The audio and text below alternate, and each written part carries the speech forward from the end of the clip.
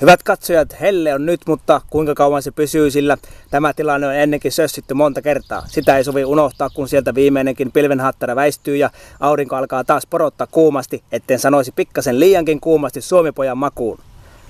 Helposti sitä innostuu, mutta pitää muistaa, että peruspeli on sitä, että pidetään silmät auki ihan koko ajan. Ja siinä tapauksessa helposti näkee, että jää lauttasi tuolla keskellä järveä seilaa. Ja jos sitä Suomi-poika ei näe, voi käydä köpelösti, kun kaikkeen valmistautunut venäläinen vetää vesiskootterilla ohi ja suomalainen ajaa itsensä nuuskaksi jäälauttaa.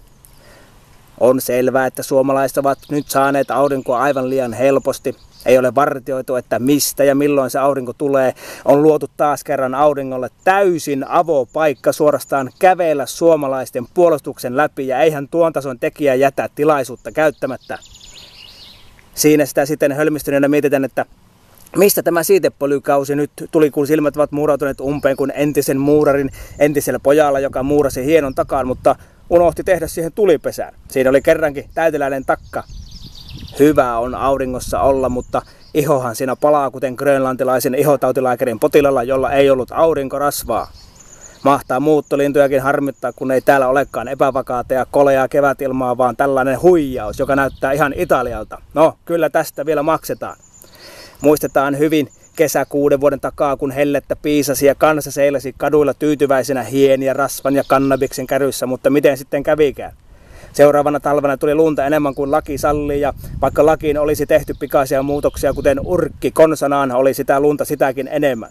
Siinä ei viety suomalaisia kebabkioskilla hangen keskeltä, kun ei saatu pelikirjaan merkittyä edes sellaista suunnitelmaa, jonka avulla olisi päästy ulos lumen tukkimista asunnoista.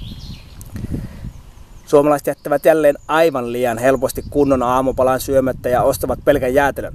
Ei kuitenkaan pitäisi hetkestä huumaantua, sillä heti kun silmä välttää ylipaino ui liiviin ja tekee suomalaisten päädyssä pahojaan.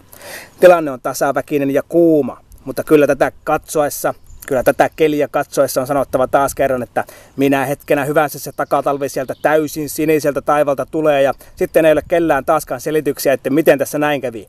Minä en ole vielä vaihtanut kesärenkaita.